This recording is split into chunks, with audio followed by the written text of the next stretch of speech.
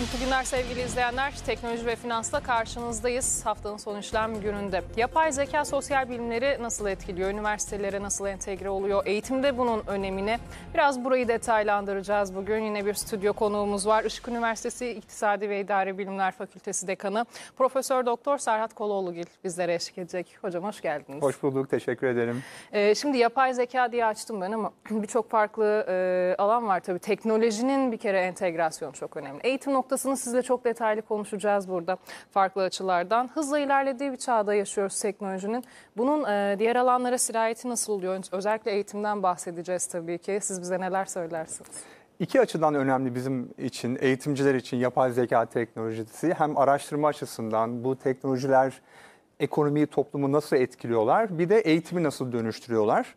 Burada sanırım temel çıkış noktası şu, yapay zeka teknolojisinin tanımlayıcı özelliği insanın e, üst düzey e, bilişsel becerilerini ikame etmesi. Hı hı. Daha önceki teknolojiler daha ya manuel e, emeği e, ikame ediyorlardı. Hı hı. Endüstri devrimi gibi. 20. yüzyıldaki bilgisayar teknolojisi hesaplama gibi daha alt düzey bilişsel yetkinliklerini insanın e, ikame ediyordu. Şimdi daha yaratıcı, daha üst düzey tahmin etme gibi, e, veriden belli başlı e, yapıları anlayabilme gibi, e, tüketici davranışlarını anlayabilme gibi süreçleri yapay zeka artık hı hı. E, yapmaya başladı. Burada tabii şu soruyu ortaya çıkıyor. Böyle bir dünyada insan ne yapacak?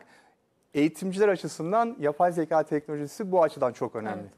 Yapay zekayı geliştirecek bir kere en başta ama hakikaten bu çok büyük bir soru işareti. Yani e, bu yeni değil 90'lardan beri belki hatta daha öncesinden beri işte e, robotlar insanların yerini mi alacak, e, dünyayı ele mi geçirecek e, çok fazla hatta böyle işte bilim kurgu filmlerine de yansıyan hususlar. E, bunu e, bahsettiğiniz gibi daha çok mekanik işlerde gördük biz otomasyonda işte band sistemlerinde vesaire sanayide daha fazla e, yapay zekayı gördük ama onlar daha çok robot teknolojileriydi tabiri caizse. Yanlışım varsa siz de düzeltin. Biraz daha bu yapay zeka dediğimiz kısım e, insanın mental çalışmasını kopyalamak, onun karşılığında olacak bir husus gibi. Burada başka bir çok parametre devreye giriyor tabii ki de işte e, duygular çok fazla konuşulan kısımdı. İnisiyatif alma çok fazla konuşulan kısımdı. Eğitime bunun yansımaları mesela ne kadar olabilir? Çünkü eğitimde baktığımız zaman e, bu proseslerin tamamının içerisine aldığı bir e, bilim aslında bir sistem evet. diyeyim daha doğrusu. Üniversiteler bu anlamda ne gibi entegrasyonlar sağlamayı düşünüyor? Ayak uydurabiliyorlar mı bu sürece? Şöyle başlayayım. Çok haklısınız. Teknoloji tartışmalarındaki temel sorulardan bir tanesi budur. Acaba teknolojik gelişme işsizliği arttırır mı? Evet. Çok eskiden beri bu tartışma hep var. Bunun cevabı hem evet hem hayır. Ee, evet eğer siz o günün güncel teknolojisinin gerektirdiği yetkinliklere sahip değilseniz e, piyasada e, işsiz kalma e, ihtimali var. Ama tarihe baktığımızda teknolojik gelişme her zaman istihdam arttırıcı yeni alanlar ortaya yaratmış. Muhakkak, Dolayısıyla buradaki temel mesele eğitimin teknolojik süreçlerle paralel e, e, ilerlemesi. Hı hı. Dediğiniz gibi yapay zeka teknolojileri e, daha e, üst bilişsel yetkinlikleri e, yapmaya başladı. Dolayısıyla e, sanırım insan giderek daha fazla e, yaratıcı, e, muhakeme yeteneği gerektiren, analiz gerektiren, daha önce hiç karşılaşmadığı bir sorunu çözebilme e, yeteneğini kullanabileceği alanlarda... Refleks diye e, bir husus var. Olabilir refleks, duyguları anlama. Çünkü e, akıllı makineler, yapay zekalar hala bu konularda en azından e, bugün... E, çok şükür. Evet, çok şükür diyebiliriz belki. E, henüz e, bu, bu yetkinliklere sahip değiller. Öyle görülüyor ki yakın sürede, orta sürede insan daha yaratıcı, daha işbirlikçi, daha duygu tarafını kullanabilecek yetkinliklerini kullanacak. Tabii bu yetkinlikleri sorduğun soru bu anlamda önemli. Üniversitelerin e, öğrencilere kazandırması gerekiyor. Daha uygulamalı, daha işbirlikçi bir eğitim modeline geçmek gerekiyor bu açıdan. Nasıl bir model olabilir? Ben sizin fikirlerinizi burada almak istiyorum. Hani e, işin e, şakası işte derslere robotlar verecek. Hatta bizim daha önce yine program yaptığımız bu konuyu konuştuğumuz bir konuğumuz şey dedi. Artık sizin de işiniz sallantıda e, robot spikerler haber sunacak program yapacak diye. Hakikaten bu arada bunun örneklerini de gördük Başladı. ama tabii ki yani e, bu yüzyılın e, işi mi bu? Belki biraz tartışmak lazım. Biraz daha hani eğitime katkı anlamında yahut bunların öğretilmesi, aktarılması, bu hususun geliştirilmesi anlamında neler yapılıyor? Şimdi üniversitelere baktığımızda yapay zeka, metaverse gibi bölümlerin açıldığını görüyoruz. Yapay zekaya yine böyle daha çok aşinayız ama metaverse e, günümüz gençlerinin biraz daha ilgilendiği bir husus. E, genele yayılma hızı bunun e, ne boyutta bunu sormak istiyorum. Çünkü toplum bilinci de e, özellikle bu metaverse kısmında çok da yüksek değil sanki. Evet. Ee, iki konunun ben burada önemli olduğunu düşünüyorum öğrenciler açısından. Ee, birincisi bahsettiğiniz tüm bu teknolojileri öğrencilerin takip etmesi çok önemli. Üniversitelerinde e, öğrencilere bu alanı e, tanıştırması çok önemli. Öğrencileri bu alanla tanıştırması çok önemli. E, buna belki bu e, blockchain teknolojisi de eklenebilir Metaverse ile birlikte. Buradaki süreçler, buradaki teknolojik gelişim e, kendi alanını, kendi mesleğini nasıl etkileyecek? Her öğrencinin bu soruyu kendine sorması gerekiyor ve bunu ne kadar erken sorarsa o kadar iyi. Bu özellikle sosyal bilim öğrenciler için bence daha önemli. Çünkü e, diğer alanlardaki eğitim nispeten biraz daha uygulamalı. E, Türkiye'deki sosyal bilim eğitiminin de hızlıca bu dönüşümü sağlaması gerektiğini düşünüyorum ben. Daha proje odaklı, daha uygulamalı ve dediğim gibi e, sosyal bilim öğrencilerinin de bu teknolojilerin kendi alanları nasıl etkileyeceğini takip etmeleri gerekiyor. Bu iş sadece mühendisliği ilgilendiren bir süreç değil. Çünkü bunlar e, genel amaçlı teknoloji deniyor. Yani tüm ekonomiyi etkileme, dönüştürme gücüne sahip teknoloji. E, 18. yüzyılda buhar gücü neyse veya 19. yüzyılda e, elektrik neyse onların e, makinelere eklemlenmesi her şeyi değiştirdi. 20. yüzyıl bilişim devrimi şimdi de yapay zeka, metaverse, blockchain teknolojisi bunlar tüm sektörleri etkileyecek genel amaçlı teknolojiler. O yüzden öğrencilerin bu soruyu kendilerine sorması önemli. Tabii üniversitelerinde öğrencilerle bu alanları tanıştırmaları çok önemli. Ee, sadece derslerle değil, ders dışı faaliyetlerle aslında bu perspektifi erkenden öğrencilere kazandırmak çok önemli. Hatta üniversite bile belki geç. K12'de K12'den itibaren bu perspektifi öğrencilere vermek gerekiyor. Muhakkak. Kodlama zaten artık anaokulu düzeyine inmiş durumda. Yani e, küçük küçük çocuklarımız anaokulunda gidip kodlamayla tanışıyorlar. Çok basic bir giriş. İşte ilkokulda yine e, seçmeli ders olarak görünüyor ama bunun belki daha ciddiyetle yapılması lazım. Üniversite ölçeğinde biraz daha detaylandıracak olursak mesela hakikaten bu işi e, öğrenciye doğru bir şekilde aktarabilecek donanıma sahip akademisyenler var mı? Bunun üzerine yetiştirilmiş insanlar var mı acaba? Var. Ee, Türkiye'de çok değerli bu konuda hakim e, akademisyenler var. Bence eksiğimiz biraz perspektif. Ee, Türkiye'deki eğitim e, network'ünü düşünecek olursak.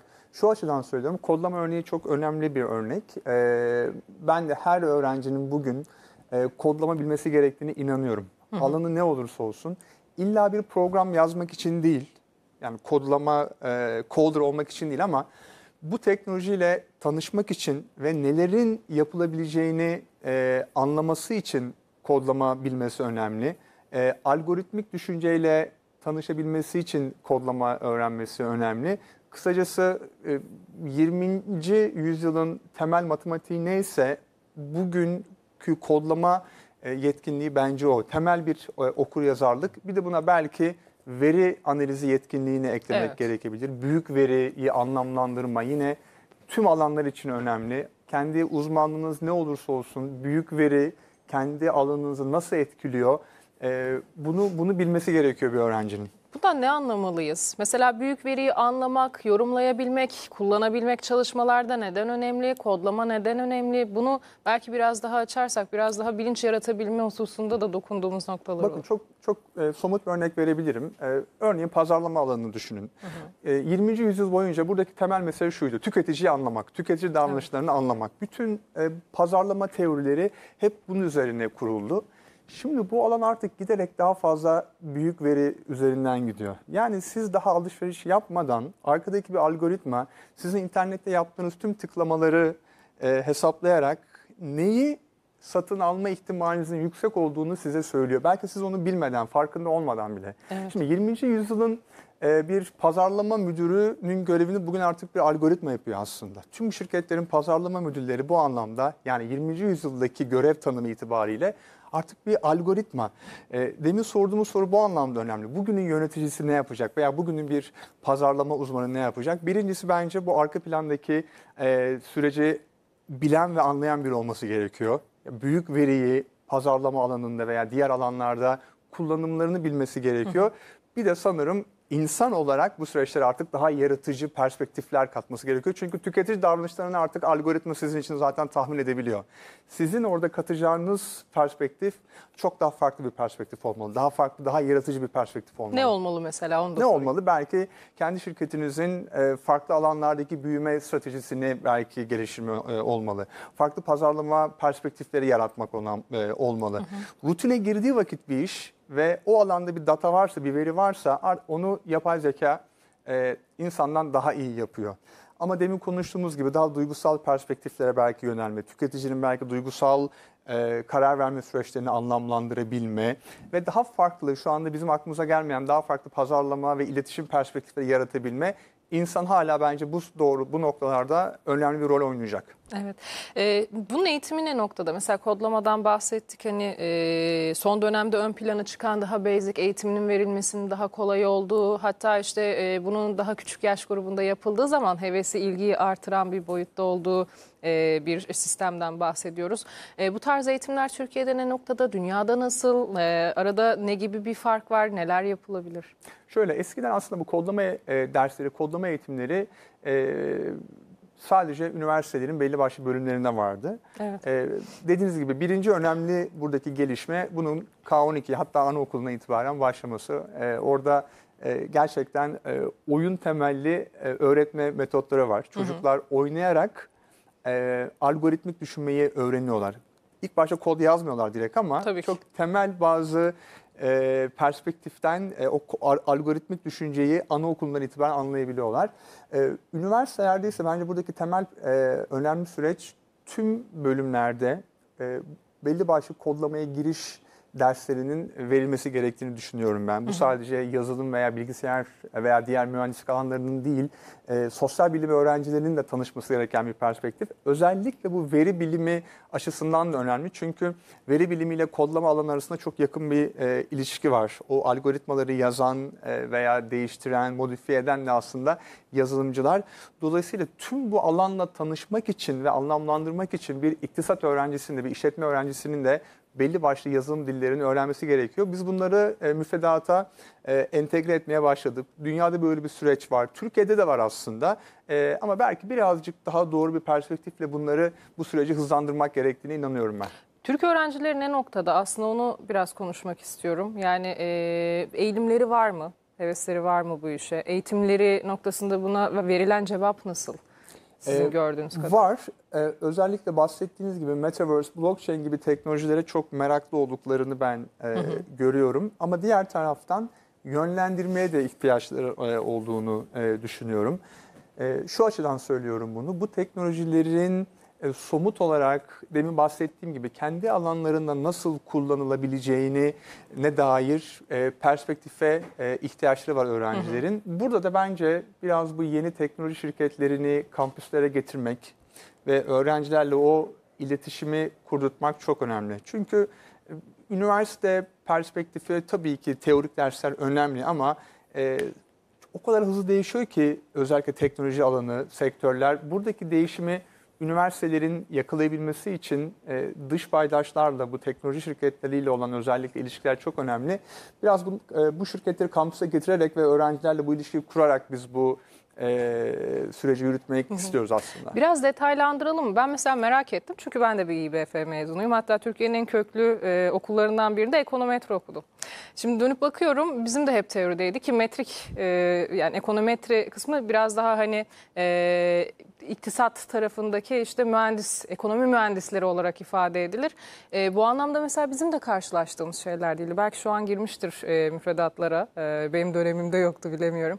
Neler yapılabilir sosyal bilimler alanında, ekonometri, ekonomi alanında nasıl entegrasyonlar var? Var mı yahut siz neler söyleyeceksiniz? Bu aslında çok klasik bir problem. Ee, akademi her zaman e, sektördeki e, gelişimleri, değişmeleri takip etmekte biraz biraz geç kalabilir. Buradaki müfredat değişikliğini revize etmek çok önemli, e, çok değerli. Ekonometri iktisadın çok önemli bir alanı. E, aslında e, veri analizi esas olarak öğreten bir alan. Tabii. Ama yapılması gereken bence Türkiye'de ekonometri dersindeki e, yetkinlikleri bugünün dünyasında nasıl e, kullanılabilir? Bunu Evet. belki öğrenciye anlatmak lazım. Çünkü oradaki teorik arka plan tabii ki çok önemli. E, ekonometri, istatistik biliminin arkasındaki matematiksel modellemeler çok önemli. Ama diğer taraftan e, bilgisayar alanında, kodlama alanında hızlıca büyüyen bir büyük veri, e, veri analitiği alanı var. E, örneğin iktisat bölümlerinin yapması gereken bu entegrasyonu yapabilmek. Ekonometri dersindeki e, yetkinliği bugünün veri bilimine veya makine öğrenmesine nasıl uygulanabilir? Oradaki modeller ekonometriye nasıl uygulanabilir? Bu arada dünyada bu konuyla ilgili kafa yoran insanlar var. Muhakkak. Ee, giderek de artıyor. Ee, ben eninde sonunda buradaki mesela önümüzdeki dönemde Türkiye'de de ekonometri dersi müfredatlarının e, değişeceğini düşünüyorum. Değişmek zorunda çünkü. Değişmek zorunda işte aslında benim de hani merak ettiğim olmasına e, olması gerekli dediğim hususlardan biri. E, ama işte sizle de bu konuyu konuşuyorken biraz daha detaylandıralım, gözümüze de canlandıralım e, istedim. Aslında neler yapılabilir işte o entegrasyon nasıl sağlanabilir? Ben şunu tavsiye edebilirim bir ekonometri öğren- öğrencisine. Örneğin derslerde tabii ki aldığı bilgi birikimi çok önemli ama eğer aldığı perspektifi e, bugünün dünyasında nasıl uygulayabileceği konusunda e, kafasında soru işaretleri varsa belki e, dersin hocasıyla bu konuyu daha e, e, yakından konuşabilir. Ya da birazcık kendi merakıyla e, kendi e, araştırmalarını bu noktada yapabilir diye düşünüyorum. Çünkü burada birazcık daha kişinin kendi e, kariyerine sahip çıkması ve ilgi alanları doğrultusunda o uygulama alanlarını kendisinin belirlemesi faydalı olabilir. Peki hocam ekonometriyi kenara bırakalım. Sosyal bilimlerin tamamından bahsedelim. Çünkü e, her işte alanda özellikle işte İBF bölümlerine baktığımızda ekonometri kadar e, matematiksel ya da bu, bu işlere yakın bir bölüm çok yok e, örneği. E, işletmeden bahsedebiliriz belki bu anlamda ya da işte diğer e, uluslararası ticaret gibi hususlarda. E, entegrasyon yine nasıl olmalı diye soracağım. E, yapay zeka, makineler, büyük veriler bu kavramlar artık hayatımızın içinde çünkü çok farkında olamasak da biz günlük yaşam içerisinde. Sosyal e, bilimler e, alanında bu süreci nasıl okumak, değerlendirmek gerekiyor? Aslında çok temel bir e, perspektiften bence e, bahsediyoruz yine. E, ilk başta söylediğim gibi her öğrencinin e, kendi e, alanını bu teknolojilerin nasıl etkileyeceğini takip etmesi çok e, çok önemli. Belki birkaç yine örnek verebilirim. Örneğin psikoloji alanı. E, temel meselesi Tabii ki yani çok önemli e, hatta evet. evet insan davranışını anlamak değil mi? Muhakkak. Ee, çok çok oradaki yine çok çok ciddi bir bilgi birikimi var, teorik bilgi var. Burada ama son dönemde e, yine e, örneğin e, sizin internette e, yaptığınız e, aramalar, e, yaptığınız, yaptığınız tıklamalar, attığınız tweetlerden karakter ve kişilik analizi yapan algoritmalar oluşmaya başladı. Şimdi insanı anlamaya çalışan bir alanın, bir psikoloğun bence bu süreçleri muhakkak takip etmesi gerekiyor. Yani yapay zekanın e, algoritması benim kendi yapmak istediğim işte insanı anlamada bana nasıl e, faydası olacak? Ya da finans alanında bir işletmecinin veya iktisatçının e, buradaki temel mesele e, piyasaları e, tahmin etme değil mi? Ve Tabii. bu e, ve bu süreç giderek e, zor zorlaşıyor. E, e, teknoloji geliştikçe, ilişkiler daha karmaşık hale geldikçe yine bir finansçının kendine soracağı temel sorulardan sorulardan bir tanesi. Ben kendi alanımda buradaki teknolojileri nasıl nasıl kullanabilirim? E, kodlama bilmek, algoritmayı bilmek bu anlamda önemli aslında. Aslında belki de e, zaten daha fazla böyle günlük hayata yansıyan bölümde finansçılar ön plana çıkıyor. Çünkü finansçılar hakikaten algoritmayı yani sıklıkla kullanıyorlar, kendileri geliştiriyorlar. E, kendi alanları olmamasına rağmen bu kadar e, bu hususla ilgilenip üzerine kafa yoran e, yegane e, çalışanlardır herhalde diye düşünüyorum. İşte algoritmik trade'den bahsediyoruz biz de yayınlarımızda. E, buradaki işte fonksiyonlardan bahsediyoruz. E, psikolojiyle ilgili biraz daha ben yine detaylandırmak isterim. Siz açmışken çok önemli bir konu. Benim de çok eğildiğim bir konu. Mesela psikolojik tahminlerden bahsettiniz. Bu satış pazarlama noktasında biraz daha ön plana çıkıyor elbette. Sizin işte sosyal medyada hareketlerinizin toplamının neye eğiliminizin olduğunu göstermesi. Ama m, psikolojik süreçlerin yönetilmesi, e, belki tedavisiyle ilgili süreçlere eklemlendi mi e, yapay zeka hususu ya da böyle bir beklenti var mı? e, klinik alandaki e, Evet, klinik gelişmeler. alandaki evet, psikoloji. e, oradaki e, süreçlerde biraz daha farklı. Klinik, klinik alanı daha ilişkisel bir e, alan. E, benim de görebildiğim e, kadarıyla. E, somut olarak e, yapay zeka teknolojileri bu alanı e, nasıl etkiliyor? Araştırmalara bakmak lazım. Ama şunu söyleyebilirim en azından. e, bu bir e, önemli bir potansiyel. Yani ben e, önümüzdeki e, dönemde örneğin bu e, yapay zeka terapistlerinin ki belki sizler de görmüşsünüzdür. Bunlar kullanılmaya başlandı. Cep telefonlarından aslında oradaki uygulamalar e, bir anlamda e, sanal terapistleri Evet. insanlar kullanmaya başladılar. Tabii ne ölçüde gerçek bir e, terapinin yerini alır tartışılır ama Muhakkak. onun yerini almasa bile tamamlayıcı olarak yani o psikolojik perspektif belki insanın günlük hayatında daha fazla kullanabilmesinde eğer destekçi olabilecekse bu uygulamalar e, bunlar belki gelişebilir. Ama adımları Evet. var en azından bunu söyleyebilirim. Evet. Ee, önemli olan da zaten o adımların atılabilmiş olması. En e, cesur atak orada gerçekleşiyor muhakkak sonrasında geliştiriliyor. Bir de şu var e, tam tersi tarafta e, bu teknolojiden korkan bir e, kesim var. Yani e, teknoloji bizi robotlaştıracak mı? İşimizden mi edecek? E, başımıza felaketler mi gelecek? E, biraz e, işin şakası olarak bahsettik işte dünyayı robotlar mı yönetecek diye ama ya aynı e, itkiyle aslında aynı düşünceyle insanlar e, teknolojiden uzak duruyorlar belki. Yahut e, anlayamayacaklarını düşünüyorlar. Çok derya deniz zor bir alan gibi geliyor. E, burayı biraz açalım dilerseniz. Onların e, psikolojisinin altında yatan sebepleri konuşabiliriz elbette ama nasıl kırılabilir? E, insanlar e, teknolojiye nasıl kazandırılabilir? E, yahut işte bu tarz e, gelişmelere nasıl ay- ayak uydurabilir? Toplumun Burada- her kesimi. Evet, burada bence yine çok temel bir psikolojik süreç var aslında insanla ilgili. İnsan e, bilmediği, anlamadığı e, her şeye karşı bir önyargıyla ve biraz belki kaygıyla, korkuyla yaklaşabilir. Evet. Teknolojiye olan tepki de bence buradan kaynaklanıyor. E, tanıştıkça e, ve tabii ne kadar erken yaşta tanıştık, tanıştıkça bu önyargılar e, azalacaktır. Siz daha iyi bilirsiniz akademisyenlerde dahi var bu. Aa, tabii tabii olmaz mı? Evet. Hem de çok ciddi şekilde de var Evet. aslında. E, hele akademi, e, üniversite kurumu daha e, ataletin kuvvetli olduğu kurumlardır. Dönüşümü, teknolojiyi üretir ama kurumsal dönüşümü nispeten e, aslında e, yavaş olan kurumlardır. Bunu da hızlandırmak gerekir bu arada. Evet. Şimdi konuştuğumuz konuyla çok e, yakından e, alakalı. Ben bu teknoloji konusunda çok optimist perspektiften bakan e, biriyim açıkçası. Şu açıdan optimist perspektiften bakan biriyim. Demin konuştuğumuz gibi rutin işleri makineye devretmek bizim yapabileceğimiz en işlerden bir tanesi. Bu endüstri devriminde manuel mekanik işlerdi. Şimdi daha manuel bilişsel işler. Bir iş rutin haline geldikten sonra onu bir makineye devredebiliyorsunuz. Artık e, bilişsel yetkinlikleri de demin konuştuğumuz gibi Evet. rutin haline geldiği vakit makineye devredebiliyorsunuz. Rutin işleri makinelerin yapması ve daha yaratıcı, e, daha muhakeme gerektiren, daha işbirliği gerektiren, daha duygusal zeka gerektiren işleri insanlığın yapması bence daha güzel bir dünya yaratma potansiyeline sahip. İnsanın enerjisinin doğru yere kanalize edilmesi ve e, geliştirilmesiyle ilgili belki de çok daha e, verimli kullanımı açısından çok daha değerli. E, bu anlamda mesela akademisyenler için programlar var mı onu da sorayım hemen.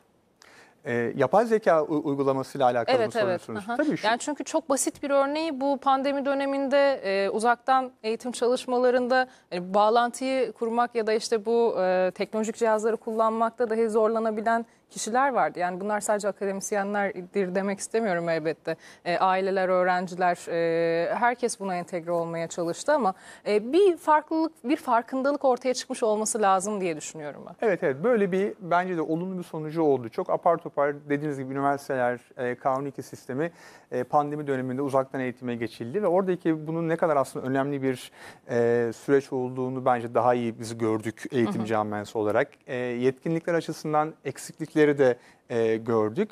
Benzer bir perspektifi yapay zeka açısından söyleyebiliriz. Buradaki uygulamalar arttıkça e, akademi de e, eğitim camiası da kendini dönüştürmesi gerektiğini e, hissedecek. Bir e, üniversite hocası da kendi Evet. verdiği derse bugünün yapay zeka teknolojilerini nasıl entegre etmesi e, gerektiğini, bunun artık bir zorunluluk olduğunu e, giderek daha fazla hissedecek bence. Peki ben sizin e, üniversiteniz ve e, fakülteniz adına konuşacak olursak eğer bir bu anlamda farklılık, farkındalık çalışmanız yahut e, yürüttüğünüz başka bir çalışma var mı diye sormak istiyorum. Beni en çok motive eden aslında bu e, dekanlık görevimde bu. Yani bugünün e, Sosyal Bilimler Üniversitesini, fakültesini e, yaratabilmek. E, bütün bu konuştuğumuz süreçler başta söylediğim gibi sadece teknik veya mühendislik alanlarını etkileyecek teknolojiler değil. Tüm alanları etkileyecek, etkileyecek teknolojiler. E, biz o yüzden tüm öğrencilerimizi bir şekilde hem ders faaliyetlerinde hem de ders dışı faaliyetlerde bu teknolojiyle tanıştırmak istiyoruz. E, bu perspektifle tanıştırmak istiyoruz. Bunun için e, teknoloji şirketlerini kampüsümüze davet ediyoruz. O iletişimi çok değerli buluyoruz. E, uzaktan eğitime yatırım yapıyoruz. Bu çok önemli. Bir de biraz daha şunu ben anlamalarını istiyorum öğrencilerimizin. E, kendi eğitimlerine ve kendi kariyerlerine sahip çıkmalarını istiyorum. Bu, bu, Tabii. bu şu yüzden önemli. E, 20. yüzyıl üniversitesi çok tek taraflı bir bilgi aktaran bir üniversiteydi. Yani öğrencileri sınıflara e, doldurup Dolduralım, e, anlatalım. hoca gelsin tek taraflı bu kitle eğitimi. Yani 20. yüzyılın kitle tüketimi, kitle üretiminin bir e, parçası olarak ve oradaki sorunu çözen bir parça olarak bu kitle tek taraflı kitle eğitimi vardı. Bunun artık sonuna geldik. Bu işlemiyor. Dolayısıyla biz de bu dönüşümü daha proje odaklı, daha yaratıcı odaklı ve öğrencilere bunu e, bunun önemini anlatırken örnekler üzerinden bakın gerçekten e, dünya buraya gidiyor E, ve sizin kazanmanız gereken yetkinlikler bunlar şeklinde beni e, bu yaptığım işte esas e, motive eden aslında e, heyecan veren e, prensip bu. Peki. Çok teşekkür ediyoruz değerlendirmeleriniz, katkılarınız için. Yine çok kapsamlı bir program oldu. Ağzınıza sağlık efendim. Ben davet için teşekkür ederim. Sağ olunuz. Evet bugün Teknoloji ve Finans'ta Işık Üniversitesi İktisadi İdari ve Sosyal Bilimler Fakültesi Dekanı Profesör Doktor Serhat Koloğlu ile beraber yapay zekayı sosyal bilimlerle entegrasyonunu bunun önemini konuştuk. Burada noktalıyoruz. Yeniden görüşünceye dek hoşçakalın.